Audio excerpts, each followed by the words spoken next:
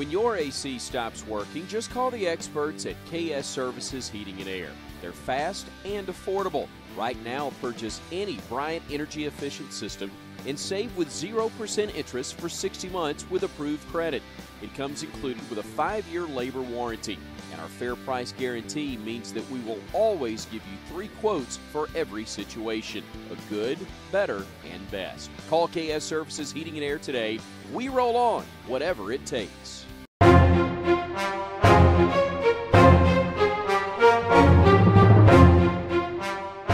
This is your Weather Xtreme video for Sunday, October the 1st. Yep, we've reached October. Wow, 2017 is just flying by. All right, we've got a good deal of weather to talk about here. There's a look at our satellite image this morning, and uh, most of the state is uh, clear. We do have a few clouds, uh, especially across the Mobile Bay area and then in parts of uh, west central Alabama. But for the most part, a beautiful morning across the state. High pressure over New York and Pennsylvania is producing what we call the wedge as uh, the uh, cold air dams against the Appalachians and comes down across uh, North Georgia and North Alabama. And we'll, we'll show that in the temperatures in just a moment. In the upper atmosphere, we have a ridge extending from Alabama all the way down into northern Mexico. There's a look at the temperatures, and you can see that uh, it's 58 along the uh, Alabama Georgia line, but it's 66 over at Tuscaloosa. So, pretty good uh, range in temperatures there. And you can see the easterly flow that is the wedge coming around the end of the uh, Appalachians. The watch warning map is uh, getting a little bit busier. We have some air quality issues in Texas. Out there over the Appalach- uh, over the Rockies, we have a good deal of winter weather advisories and watches. Then we have some uh, high fire danger in California. And then those uh, blues are frost and freeze advisories for parts of uh, the Great Lakes over into New England. The QPF is uh, suggesting through Friday morning that we're not going to see much in the way of rain, and I, th- I think they're right. Uh, I don't think we see any rain, uh, but we do have some chances on Monday. We'll get to that in a moment. Storm Prediction Center has a slight risk over the central and southwest part of Nebraska for day one today. For day two, Monday, uh, there's a marginal risk from central Nebraska all the way up into uh, the western Great Lakes at the end of Lake Superior, encompassing parts of Wisconsin and Minnesota. And then for day three, uh, we don't have any marginal or severe areas.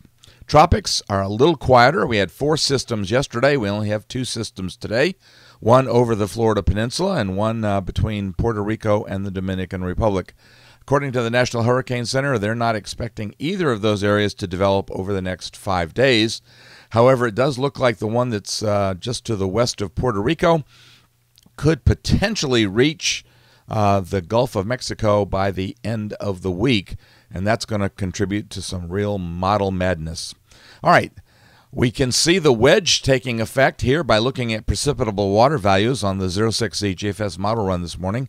And you can see that uh, moisture gradient from uh, west to east across the state. At the surface, of course, we are getting that little pressure pattern where you see that little nose coming across uh, Georgia. Yesterday, uh, the GFS was suggesting that the high over New York and Pennsylvania wouldn't be quite as strong as it appears to be uh, this morning. By Monday in the upper atmosphere, we do have a nice ridge over the eastern part of the country and a deep trough over the western part of the country. And uh, along the Gulf Coast, we have this little bit of a, a weak disturbance. Uh, call it an inverted trough, whatever you'd like to call it there. It's going to be responsible for some showers along the Gulf Coast. And uh, I think we'll have to include uh, small chances. You can see that the moisture does surge upward just a little bit. Um, uh, northward across Alabama. So I think we're going to put you know, small chances, like maybe 20% in central or north Alabama, but the best chance is going to be in south uh, Alabama and along the Gulf Coast. That system moves on, and it's hardly even noticeable in the upper air chart. Uh, but you see the big ridge over the southeastern U.S. We can see the uh, disturbed weather over the the uh, southeast Texas coast on uh, Tuesday, so it looks like it's going to mosey on and be away from us. The ridge stays in place on Wednesday and again on Thursday, so not much change. On Thursday, though, we do have a front that's going to be approaching the area, as you see from the surface chart. Um, and uh, the GFS is now getting rather bullish on the system in the Gulf of Mexico. This is, uh, I think, the uh, area that's over or just to the west of Puerto Rico this morning. And that uh, the GFS is being rather bullish on developing something. Not sure that that's the correct solution at this moment. Now, by Friday, the upper air chart, the GFS has really moved this thing across the Gulf uh, pretty quickly. You can see the upper air reflection there just off uh, the coast of uh, Brownsville. At the surface, the GFS certainly has what could be a Category 1, maybe even a Category 2 hurricane over the uh, western Gulf. Now, I'm not putting a lot of faith in that, and you'll see in a moment when we get out to Saturday, you can see the GFS brings that upper air reflection of that system into the uh, uh, South Texas in the vicinity of Brownsville, and indeed that, that's what the surface pattern does.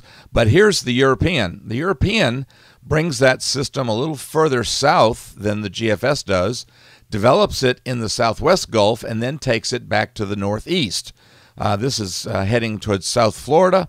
And then when we get out to Sunday, you can see the GFS suggesting that it's going to be uh, dying out over South Texas, um, and the uh, surface map from the GFS suggesting that, uh, and suggesting a good surge of moisture our way. So that would spell some wet weather for us.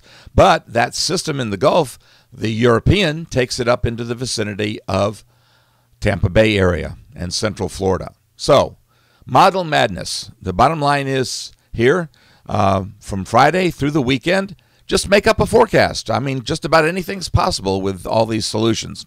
All right, going out into voodoo country, there's uh, another trough forecast by the GFS uh, around the 10th of October that should spell a pretty nice front coming across the central part of the United States and into the southeastern U.S. But by the 13th of October, we're back under a nice ridge, so that's some warm but dry days for middle October. And then we have another one, another trough forecast to dig in across the Mississippi River Valley on the 15th. So, no rest for the weary, as October is usually a tranquil month, but it doesn't look like it will be this year. I'm meteorologist Brian Peters. Thanks so much for tuning in. James Spann should be back in the saddle with the next edition first thing on Monday morning. In the meantime, you can catch the latest forecast on ABC 3340 News at 5 and 10. I'll be filling in for Charles Daniel. Hope that you have a great day Godspeed. AC broken? Just call KS Services Heating and Air. All Bryant energy efficient systems come with a five year labor warranty, and our fair price guarantee means that we'll always give you three quotes for every situation. Just call KS Services Heating and Air today.